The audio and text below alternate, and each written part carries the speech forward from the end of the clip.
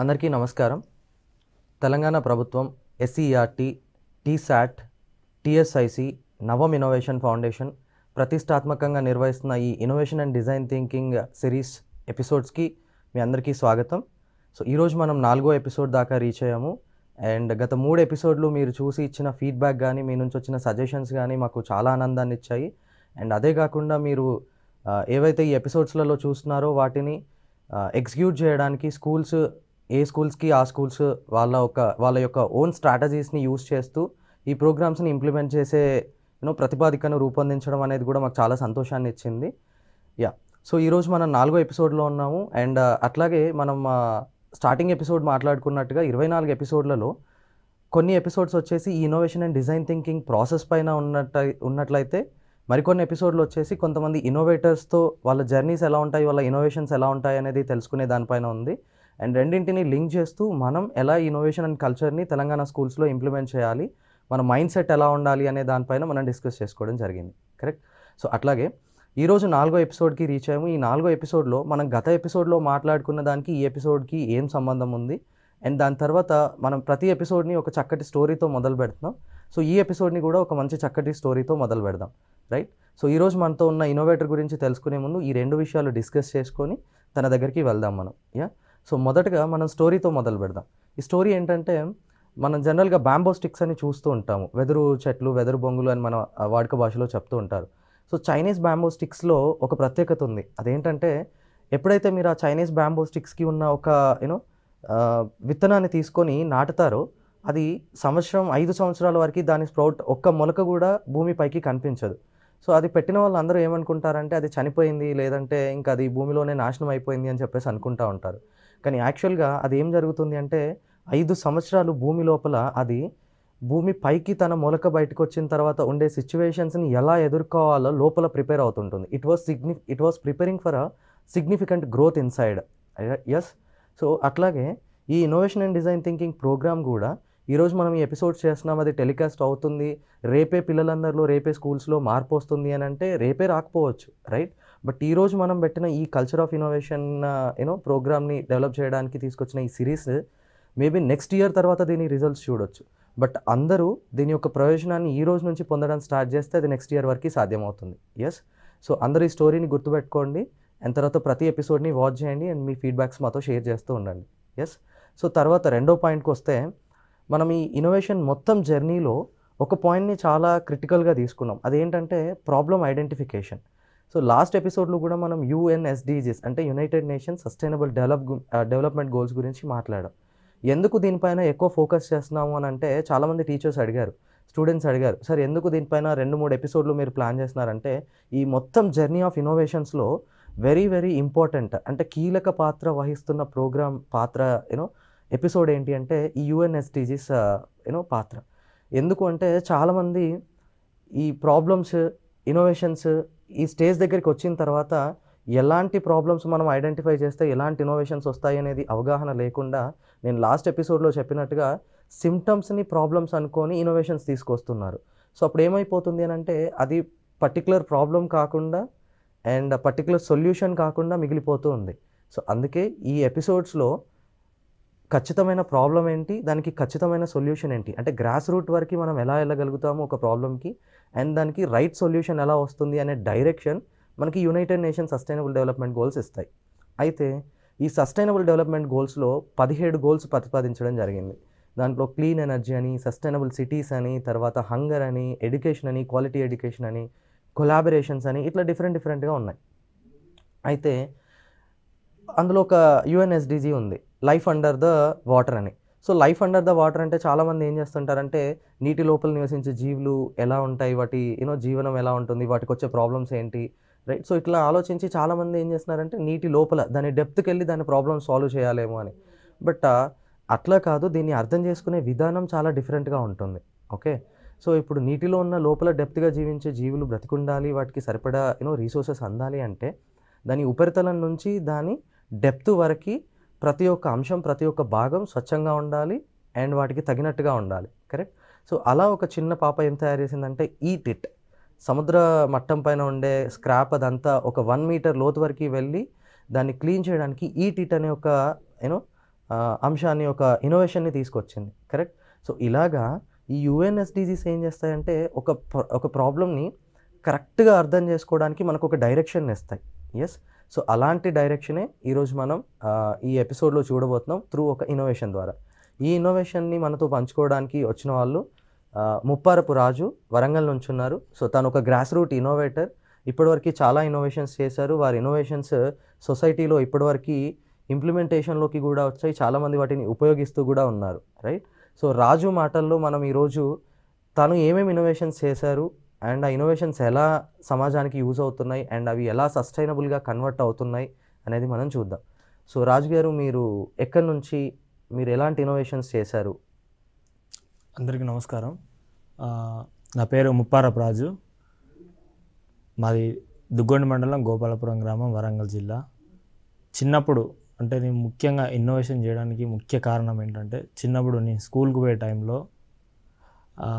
maybe ninth class or tenth క్లాస్లో ఉన్నప్పుడు మా గ్రామంలో మా గ్రామంతో పాటు చుట్టుపక్కల కొన్ని గ్రామాల్లో వీధి లైట్లు అనేది నిరంతరం వెలిగి ఉండేవి. అప్పుడు నేను అనుకునేది కదా అంటే వీధి లైట్లు కదా ఇవి పబ్లిక్ అవసరం ఉండేవి కదా అంటే వీటికి గవర్నమెంట్ ఏమన్నా కరెంట్కి ఇట్లా ఫ్రీగా ఇస్తారు కావచ్చు అని అనుకున్నాను. అయితే దీని తర్వాత ఏంటంటే మళ్ళీ ఒకసారి మా గ్రామ సర్పంచ్ గారిని నేను అడిగాను వీటికి ఏమన్నా అంటే ఫ్రీగా ఇస్తారా కరెంట్ అంటే లేదు వాటికి కూడా బిల్లు కడతామని చెప్పారు. సో నేను ఏం చేశానంటే డే టైంలో కూడా ఇన్ని వీజ్ లైట్లు వెలుగుతుంటే దాదాపు చాలా కరెంట్ అనేది మనం లాస్ అయిపోతుంటాము. సో వీటిని నైట్ టైం వేసుకోవచ్చు కదా అంటే కొన్ని గ్రామ పంచాయతీలలో సిబ్బంది అనేవారు ఉండరు. అంటే ఆన్ ఆఫ్ చేయడానికి. వాళ్ళు ఏంటంటే మామూలుగా పబ్లిక్ మీద ఆధారపడి ఉంటారు. అంటే ఆన్ ఆఫ్ చేసుకోవడానికి చుట్టుపక్కల వాళ్ళపైన మన పబ్లిక్ ఎలా ఎలా అంటే వాళ్ళకు ఎప్పుడు తీరినప్పుడు అప్పుడు వాటిని ఆన్ చేస్తారు ఆఫ్ చేస్తుంటారు అన్నట్టు.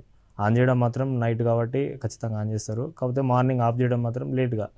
అప్పుడప్పుడు ఆఫ్ చేయడం కూడా మర్చిపోతుంటారు. దీనివల్ల ఏంటంటే వేల యూనిట్ల కరెంట్ అనేది వృధా అయిపోతుంది. సో నేను దీనికి ఏం చేశానంటే జస్ట్ ఒక చిన్న టెక్నాలజీ తోటి అంటే అప్పుడు ఫస్ట్ ఎల్డిఆర్ అనే సెన్సార్ తోటి నేను ఒక చిన్న డివైస్ తయారు చేశాను. చిన్న డివైస్ తయారు చేసి ఫస్ట్ మా విలేజ్లో సక్సెస్ఫుల్గా అమర్చాను. సో మా ఊళ్ళో ఇది చాలా బాగా పనిచేసింది. దాని తర్వాత అప్పటి నుంచి వెళ్ళి ఇప్పటికి ఒక దాదాపు ఒక టెన్ ఇయర్స్ నుంచి వెళ్ళి ఈ మధ్య అంటే ఒక టూ ఇయర్స్ నుంచి వెళ్ళి దాదాపు నేను ఈ పరికరాలన్నీ దాదాపు ఒక ఆరు జిల్లాలలో ఒక ఐదు వందల గ్రామాల దాకా అమర్చాను. ఇది ముఖ్యంగా ఏంటంటే ఎనర్జీ అనేది బాగా ఇది సేవ్ చేస్తుంది. దాదాపు ఇలాంటి పరికరాలు అమర్చుకుంటే దాదాపు ఒక విలేజ్లలో దాదాపు ఒక ముప్పై నలభై శాతం వరకు కరెంట్ అనేది ఆదా చేసుకోవచ్చు. ముఖ్యంగా ఏంటంటే ఇప్పుడు కొన్ని పెద్ద గ్రామ పంచాయతీలు అంటే మేజర్ గ్రామ పంచాయతీలు ఉన్నప్పుడు వాళ్ళు ఆన్ ఆఫ్ చేసేవాళ్ళు వాళ్ళు ఏం చెప్తుంటారంటే వాళ్ళు బైక్ వేసుకొని తిరుక్కుంటూ ఆన్ ఆఫ్ చేస్తుంటారు. వాళ్ళు చెప్తుంటారు ఈ మేము ఎర్లీ మార్నింగ్ దాదాపు సిక్స్కి స్టార్ట్ చేస్తే దాదాపు సెవెన్ థర్టీ ఎయిట్ వరకల్లా మొత్తం అంటే వాళ్ళు ఆ టైం అనేది చెప్తుంటారు అన్నట్టు. సో వాళ్ళు బైక్ వేసుకొని తిరుగుతుంటే వాళ్ళు పెట్రోల్ పెట్రోల్ కూడా వేస్ట్ అయిపోతుంటుంది. సో దీనికి ఏంటంటే ఇప్పుడు నేను ఈ తయారు చేసిన ఈ డివైస్ తోటి జస్ట్ మనకు రాత్రి కాగానే ఆటోమేటిక్గా లైట్లు అనేవి మళ్ళీ ఎర్లీ మార్నింగ్ వాటికి అవి ఆఫ్ అవుతాయి ఇవి వీటికి దాదాపు ఒక గ్రూప్ గ్రూప్ లైట్ లాగా పనిచేస్తానట్టు ఇది. ఒక డివైస్కి దాదాపు ఒక అరవై నుంచి డెబ్బై లైట్ల వరకు దీనికి పనిచేస్తుంది. అతి తక్కువ ఖర్చుతోటి గ్రామాలలో కూడా ఈ టెక్నాలజీ నేను పరిచయం చేశాను. ఈవెన్ చిన్న చిన్న తండాలు గుంపులు రిమోట్ ఏరియాల విలేజెస్లో కూడా ఈ పరికరాన్ని అమర్చాను. చాలా తక్కువ ఖర్చులో దీన్ని. యా సో రాజుగారు చెప్పినట్టుగా మనం అనుకుంటాం ఒక ప్రాబ్లమ్ని సాల్వ్ చేసేటప్పుడు లేదంటే ఒక ఇన్నోవేషన్ని తీసుకొచ్చినప్పుడు అది జస్ట్ ఒక్క సమస్యని మాత్రమే పరిష్కరిస్తుందేమో అనుకొని. కానీ ఇప్పుడు మీరు చెప్తూ ఉంటే మీ ఇన్నోవేషన్ కేవలం ఒక ఎనర్జీ సోర్స్ని మాత్రమే కాకుండా ప్రతి ఒక్కరి టైంని సేవ్ చేస్తుంది ఇక్కడ. తర్వాత. ఫ్యూయల్ని సేవ్ చేస్తుంది అని చెప్తున్నారు. అందరు అనుకుంటారు రే వాళ్ళ డ్యూటీ అది కదా లేదంటే మార్నింగ్ లేసి వెళ్ళి యూనో లైట్స్ బంద్ చేయడమే వాళ్ళ డ్యూటీ కదా మనం బైక్స్ పైన వెళ్ళొచ్చు చేయొచ్చు అని. బట్ దానివల్ల చిన్న చిన్న విలేజెస్ లాంటివి మనం ఇండియాలో చూసుకుంటే ఎన్ని విలేజెస్ ఉన్నాయి? సో అలాంటి విలేజెస్లో ప్రతి ఒక్క దాంట్లో సో మనం ఒక ఇన్నోవేషన్ని తీసుకొచ్చినప్పుడు జనరల్గా అనుకుంటాం అది ఒక ప్రాబ్లమ్నే సాల్వ్ చేసింది అని. కానీ రాజుగారు తీసుకొచ్చిన ఇన్నోవేషన్ చూస్తే అది కేవలం ఎనర్జీస్ మాత్రమే సేవ్ చేయకుండా అదర్ రీసోర్సెస్ని కూడా అంటే ఫ్యూయల్ యూజ్ చేస్తాము సో ఇలా డిఫరెంట్ డిఫరెంట్ సోర్సెస్ ఎలా అయితే ఉన్నాయో అది వెళ్ళడానికి యూజ్ చేసే మ్యాన్ పవర్ కానీ తర్వాత టైం కానీ ఇట్లా చాలా రీసోర్సెస్ అనేవి సేవ్ అవుతూ ఉన్నాయి రైట్ సో అట్లాగే ఈ ఇన్నోవేషన్ అనేది ఎవరో ఒకరు వచ్చి చేస్తారు లేదంటే ఇది ఒక పర్టికులర్ పర్సన్ యొక్క బాధ్యత కాదు రైట్ సో ఆ గ్రామంలో ఉండే ప్రతి ఒక్కరి బాధ్యత అని గుర్తు చేస్తూ అదే గ్రామంలో ఉన్న తను తన ప్రాబ్లమ్స్ని తన గ్రామంలో ఉన్న ప్రాబ్లమ్స్కి యూనో స్పందించి సొల్యూషన్ తీసుకురావడం అనేది చాలా యూనో గొప్ప విషయం.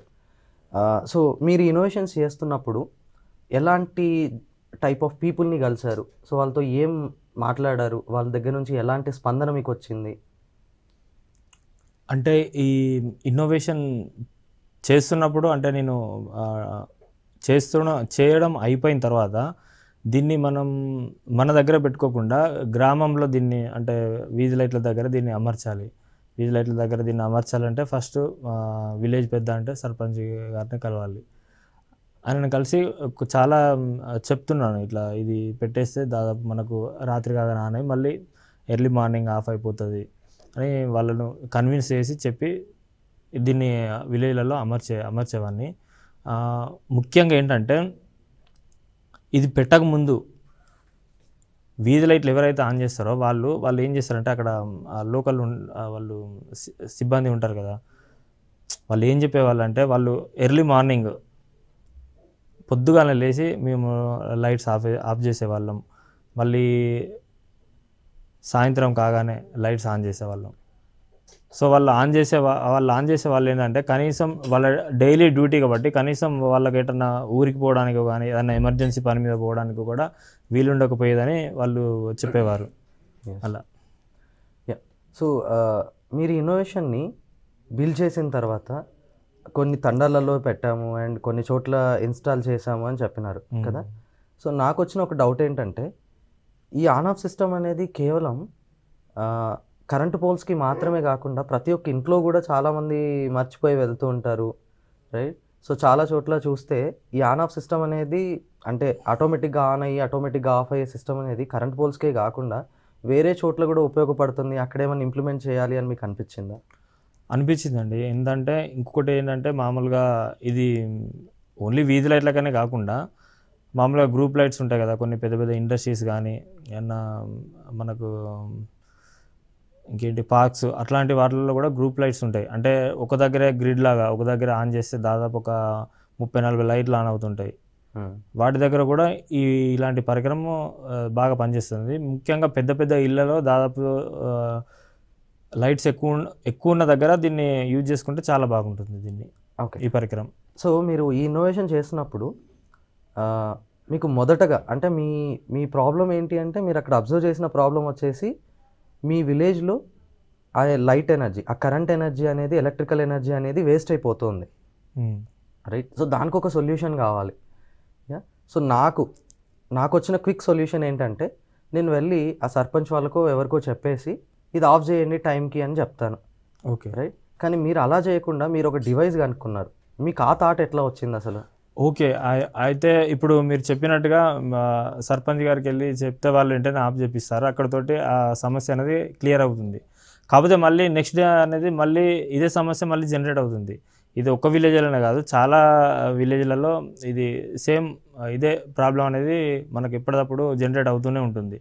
సో దీనికి ఇలా చెప్పడం ఇవన్నీ చేయడం కన్నా దీనికి ఒక చిన్న సింపుల్గా ఒక సర్క్యూట్ తయారు చేసి ఈ ఆన్ ఆఫ్ చేసే దగ్గర పెట్టేస్తే ఈజీగా మనకు ఎవ్వరి ప్రమేయం లేకుండా వాటికవే వచ్చి వాటికవే ఆఫ్ అయిపోతాయి. దీనివల్ల చాలా బాగుంటుంది.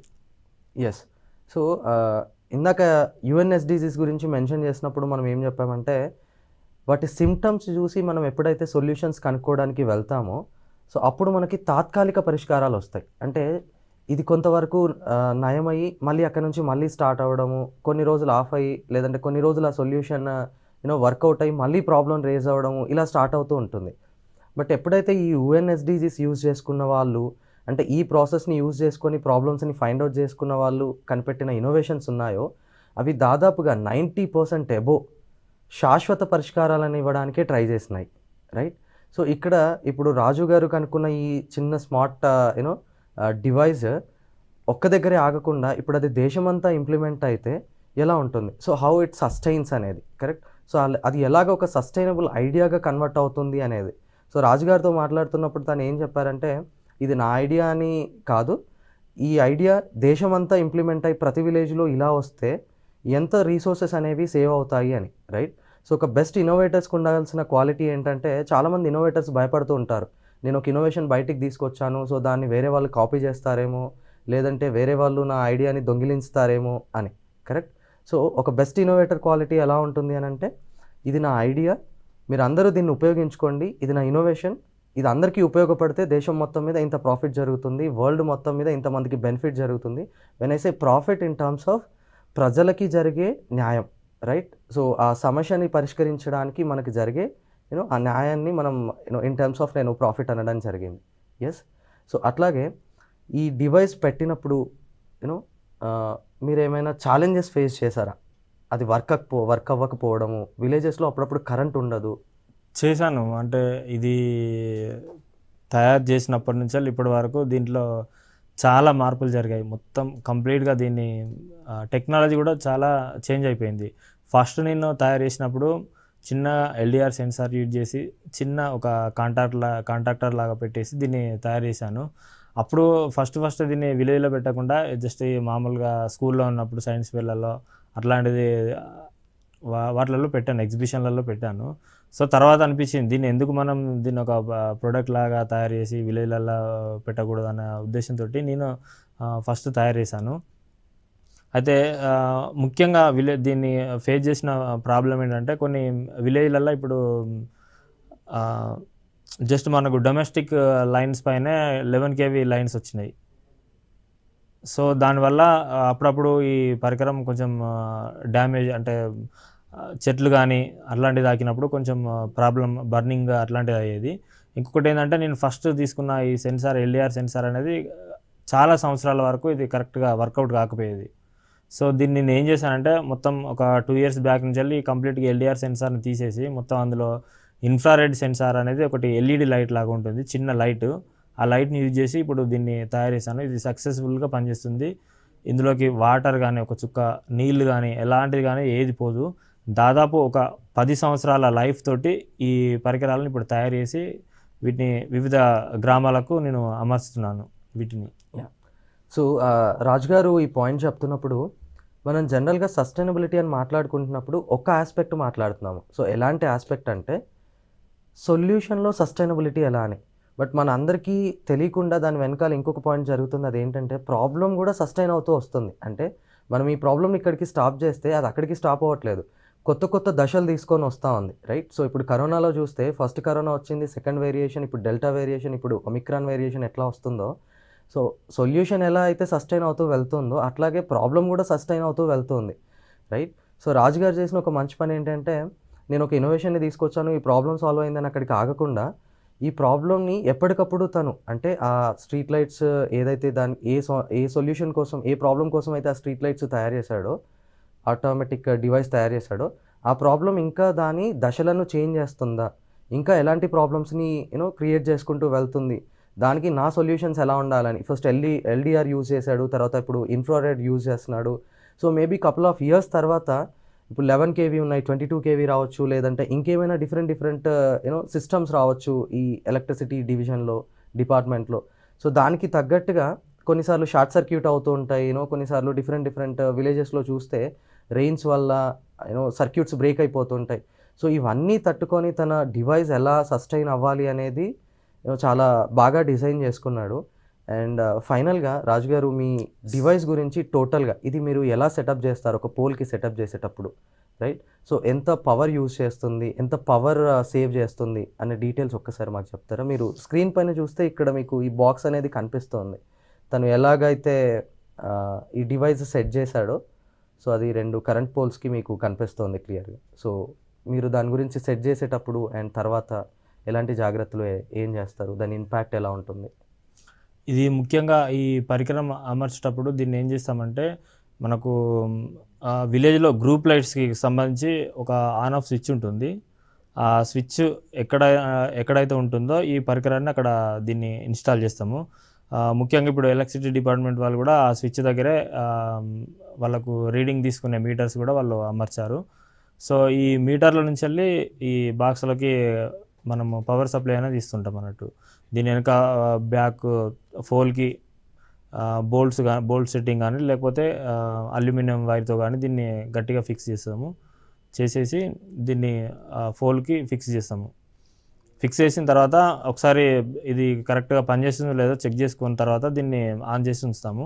మనకు కరెక్ట్గా ఫిక్స్ చేసిన తర్వాత కరెక్ట్ ఎప్పుడైతే చీకటి అవుతుందో చీకటి అంటే మామూలుగా మరీ చీకటి కాకుండా సందవేళ అంటారు కదా సందవేళ కరెక్ట్గా ఈ లైట్స్ ఆన్ అవుతాయి. మళ్ళీ ఎర్లీ మార్నింగ్ మనకు సమ్మర్లో అయితే దాదాపు ఫైవ్ థర్టీకి ఆఫ్ అయిపోతాయి. కొంచెం వింటర్లో అయితే సిక్స్ సిక్స్ టెన్కి అట్లా స్ట్రీట్ లైట్స్ అనేది ఆఫ్ అయిపోతాయి. ఇది ఎగ్జాక్ట్లీ కరెక్ట్ చీకటి వెలుతురును బట్టి కరెక్ట్గా అక్యురేట్గా కరెక్ట్గా పనిచేస్తుంది ఇది ఈ పరికరము. ఇంకోటి ఏంటంటే షార్ట్ సర్క్యూట్ అలాంటి కొంచెం ఇది దీనికి కాకుండా ఇందులో సర్జ్ ప్రొటెక్షన్ అట్లాంటివి చాలా యూజ్ చేసాము ఇంకోటి ఏంటంటే విలేజ్లలో ఏంటంటే ముఖ్యంగా చాలామంది చాలా విలేజ్లలో ఏంటంటే ఇప్పుడు కరెంటు వాళ్ళు ఇళ్ళలోకి తీసుకునే కరెంటు లైన్స్ వాళ్ళు కొండలేస్తుంటారు కొక్కాలు.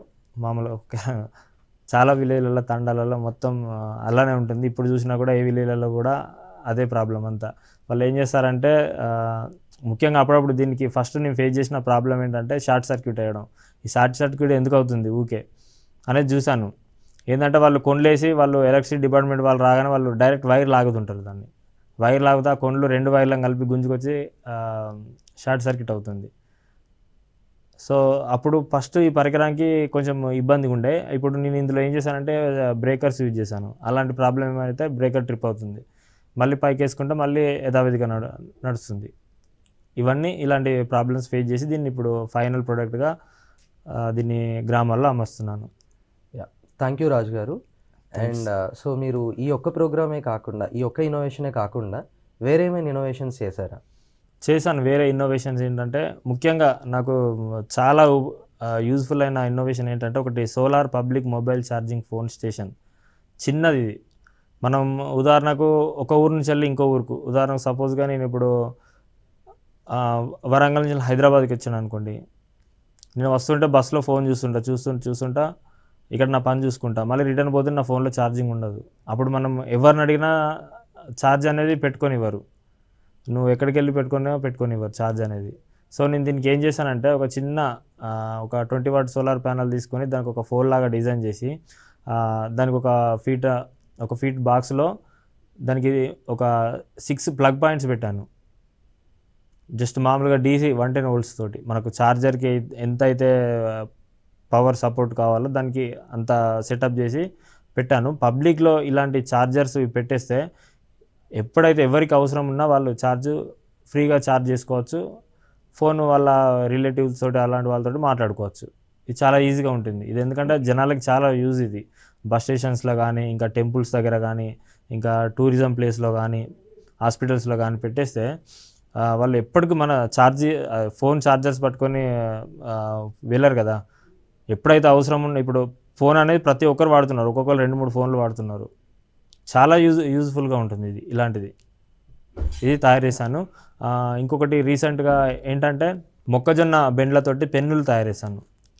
మొక్కజొన్న బెండ్లు ఏంటంటే మా దగ్గర మొక్కజొన్న చైన్లు వేసి దాదాపు ఎకరాల కొద్ది చైన్ అట్లనే కాలు పెడుతుంటారు. కాలు విపరీతమైన పొగ వేడి అవన్నీ వస్తుంటాయి. పొగ బాగా వస్తుంటుంది బాగా. పొల్యూషన్ బాగా ఏర్పడుతుంది. మనం ఏం చేస్తున్నాం? ప్లాస్టిక్ పెన్నులు అనేది తయా- వాడుతున్నాం. ప్లాస్టిక్ పెన్నులు అంటే మనం ప్లాస్టిక్ను మనం కాలుష్యం కావడానికి మనమే మళ్ళీ ప్లాస్టిక్ని ఉత్పత్తి చేస్తున్నాం. అదే ఈ పెన్నులతో ఈ మొక్కజొన్న వాటితో పెన్నులు తయారు చేసి వాడుకుంటే ఇక్కడ ప్లాస్టిక్ అనేది రాదు. సో నేను దీన్ని ఈ వీటితోటి పెన్నులు తయారు చేసి పెన్నులు కూడా అమ్ముతున్నాను. కొన్ని గవర్నమెంట్ ఆఫీషియల్స్కి కొన్ని ప్రభుత్వ కార్యాలయాలకు పెన్స్ కూడా ఇవి అమ్ముతున్నాను. ఇది కూడా నాకు ఒక ఒక రకంగా ఎంప్లాయ్మెంట్ కల్పిస్తుంది నా ఇన్నోవేషన్స్. ఇప్పుడు నేను ఏ అన్ని ప్రతి ఒక్కటి నా ఇప్పుడు నాకు ఒక మంచి ఎంప్లాయ్మెంట్ నేను ఒక మంచి స్థితిలో ఉన్నా అంటే నేను తయారు చేసిన ఇన్నోవేషన్స్ బయట మార్కెట్ కావడమే యా. ఇవి so thank you so much Raju garu. And me innovations వింటున్నప్పుడు చాలామందికి ఒక అపోహ ఉంది ఏంటంటే ఇన్నోవేషన్స్ అనగానే ఎవరో ఇంజనీర్స్ చేయాలి లేదంటే సైంటిస్టులు చేయాలి అనేది ఒక అపోహ ఉంటుంది. అండ్ నా దగ్గర రీసోర్సెస్ లేవు లేదంటే నాకు ఈ సెన్సార్స్ ఐడియా లేవు నాకు వాటి గురించి అవగాహన లేదు నేను ఎలా చేయాలి అని. బట్ మీరు ఒక విలేజ్ నుంచి వచ్చి యూనో కొత్త కొత్త టెక్నాలజీస్ యూజ్ చేసుకొని మీ ఇన్నోవేషన్స్ని ఎలా తయారు చేస్తున్నారు అనేది అందరికీ ఆదర్శదాయకం. రెండోది అలాగే ఇప్పుడు ఏదైతే మీరు మొక్కజొన్న పొత్తులని యూజ్ చేసుకొని పెన్స్ తయారు చేశారో అందరూ ఏమనుకుంటారంటే అగ్రికల్చర్లో వెళ్ళిన తర్వాత వచ్చిన వేస్టేజ్ అంతా అక్కడికి అది వేస్టేజ్ లాగా అందరి మైండ్లో పడిపోతుంది. బట్ మీకు ఆ వేస్టేజే ఒక రీసోర్స్ లాగా కనిపించింది. కరెక్ట్ అండ్ అది దాని అది ఇంకొక సొల్యూషన్ కూడా అయింది ఒక ప్రాబ్లంకి రైట్ సో అందుకే చాలామంది పెద్దలు చెప్తూ ఉంటారు ఏంటంటే ప్రతి ఎండ్ అనేది ఇంకొక దానికి బిగినింగ్ అని. రైట్ సో అక్కడ వచ్చిన అగ్రికల్చర్ యూనోలో uh, వచ్చిన ఆ క్రాప్ యొక్క వేస్ట్ అనేది ఇక్కడ ఒక ఇన్నోవేషన్కి ఒక బిగినింగ్ అయింది. కరెక్ట్ సో ఇట్లాగా ప్రతి ఒక్కటి ఇంకొక దాంతో లింక్ అయ్యి కొత్త కొత్త సొల్యూషన్స్ తీసుకొచ్చి యూనో కొన్నిసార్లు తాత్కాలికంగా కావచ్చు కొన్నిసార్లు శాశ్వతంగా కావచ్చు. సో అట్లాగా ప్రాబ్లమ్స్ సస్టైన్ అవుతూ ఉన్నాయి. At the same time you know solutions sustain అవుతూ ఉన్నాయి. రైట్ సో ఇవన్నీ అవ్వాలి అని అంటే ఎప్పటికప్పుడు మన ఆలోచనలు కూడా సస్టైన్ అవ్వాలి. అప్పుడే ఈ సస్టైనబిలిటీ డెవలప్మెంట్ గోల్స్కి మనం కరెక్ట్గా న్యాయం చేసిన వాళ్ళం అవుతాం. రైట్ సో ఈ గోల్స్కి న్యాయం చేయడం అంటే ఆటోమేటిక్గా మనకి మన లైఫ్కి యూనో మన మానవ మనుగడకి మనం న్యాయం చేసుకున్నట్టు అవుతుంది right so thank you so much everyone next next ఎపిసోడ్లో మనం ఇంకొక ఇన్నోవేటర్ని చూడబోతున్నాం. సో ఈ ఇన్నోవేటర్ ఏ ఇన్నోవేషన్స్ తీసుకొచ్చారు? తన ఇన్నోవేషన్స్ ఈ సస్టైనబుల్ డెవలప్మెంట్ గోల్స్లో ఏ గోల్కి లింక్ అవుతుంది రైట్ అండ్ ఆ ఇన్నోవేషన్ గురించి పూర్తిగా తెలుసుకుందాం. Yeah thank you so much ధన్యవాదాలు. Thank you